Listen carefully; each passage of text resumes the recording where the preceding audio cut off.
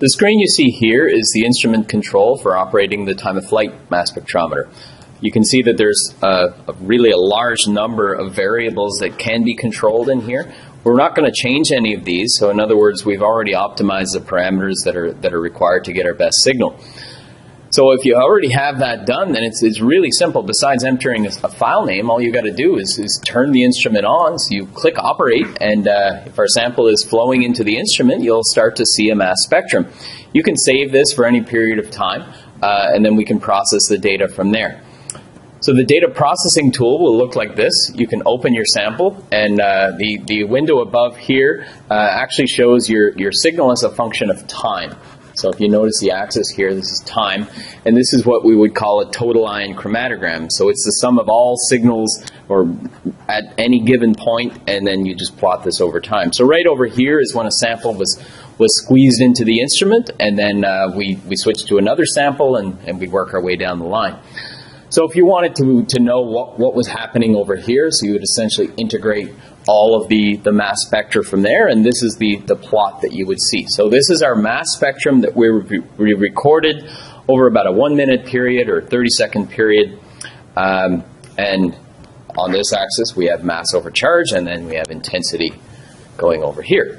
The first sample that we're going to be recording uh, is a reference standard. So this is something that we are using to calibrate the flight time of the instrument. In other words, these are compounds that we know what the mass is, and uh, by spraying these compounds into the instrument, depending when they're detected, we get an accurate calibration of the instrument.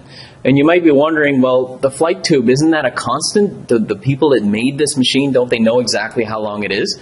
Well, that's true, except the tube is made of metal, and metal expands as a function of temperature.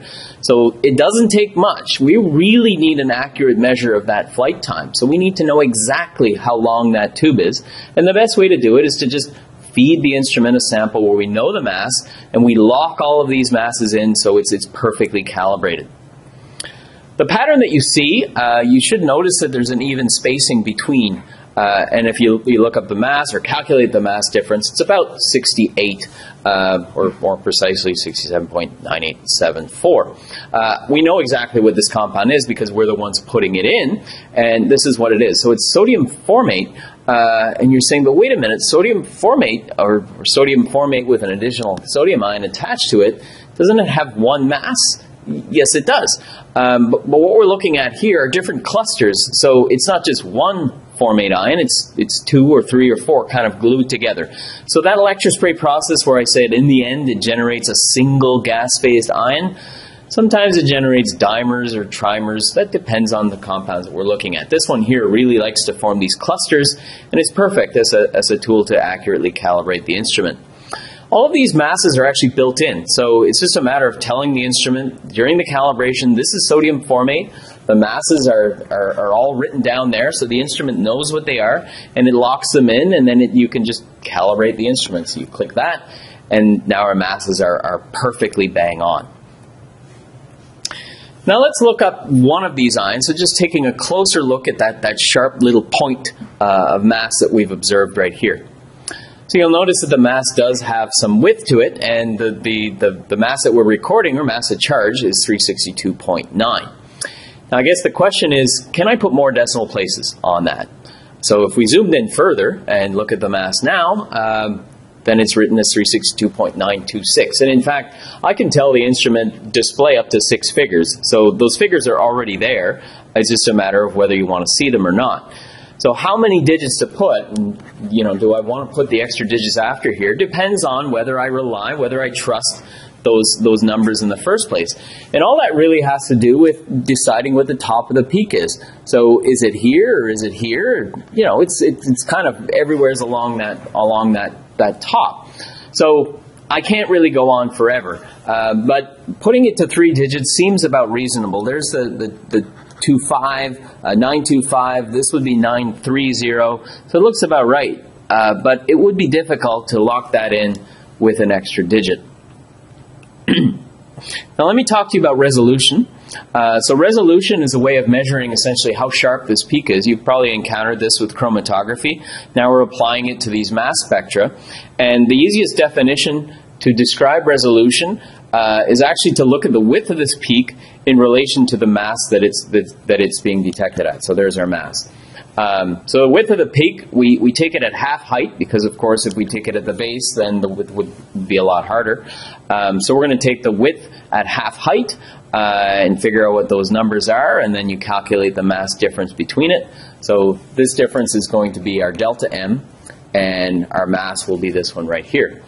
So if we were to calculate the resolution uh, as m over delta m, you'll see it's a little bit higher than 4,000. I mentioned in a previous video that these, this instrument should have a resolution of a lot better than that, maybe up to, to 15,000 at max, 10,000, something like that.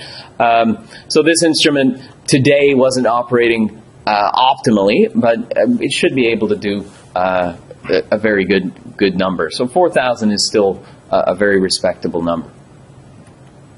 Now, we can talk about the width of the peak, but what about the position? So, in other words, how accurate is our measurement?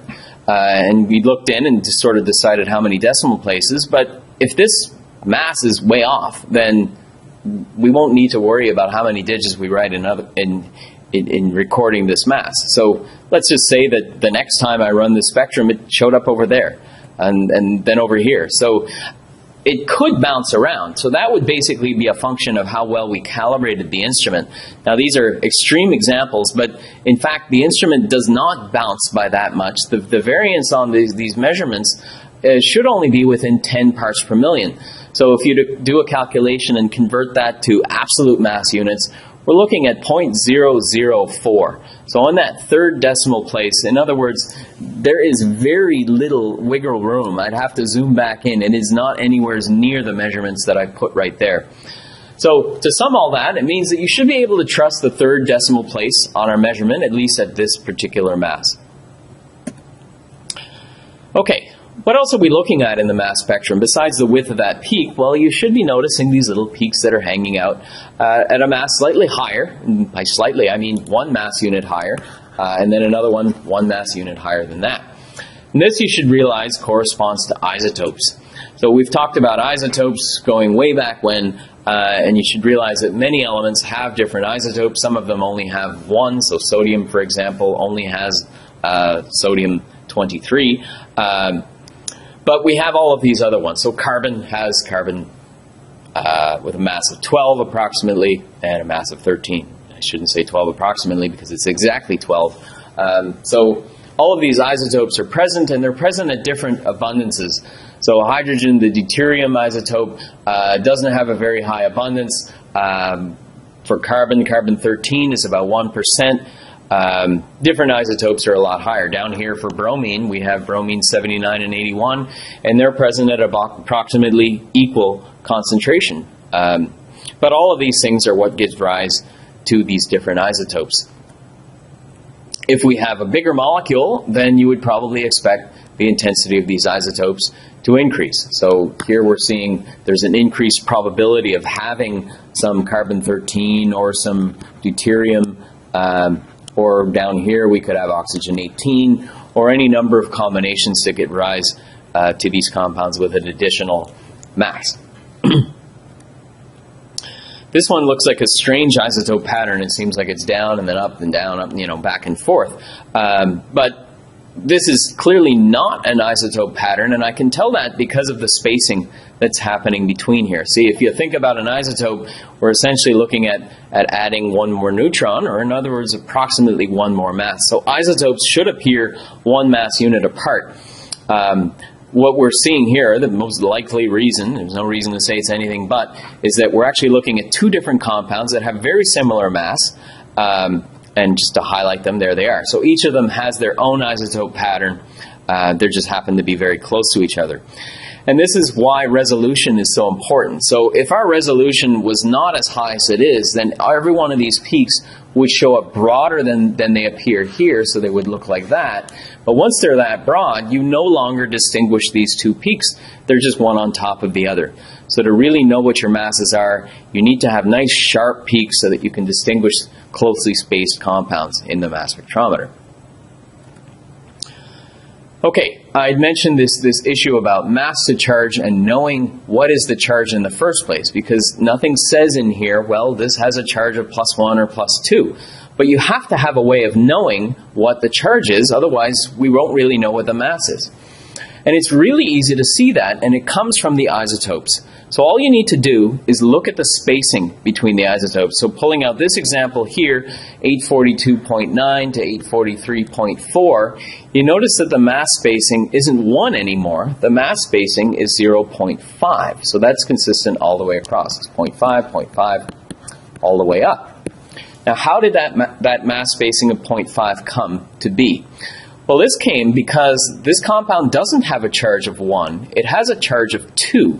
So the mass is actually double the mass that we see here. Um, and then doubling that mass, you have to realize that we've also added an extra proton in there. But if you take these masses and you divide by the charge of 2, that means those isotopes that used to have a spacing of 1 will now get squished in to a spacing of 0.5. So this one has a charge state of 2 simply by the, the spacing between them.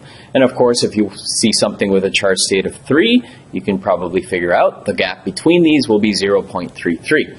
Eventually, you'll reach a point where these, these spaces get so close to each other. So if something happened to have a mass, uh, sorry, a charge state of 10, these would get really close to each other, and then it would get hard to distinguish the two.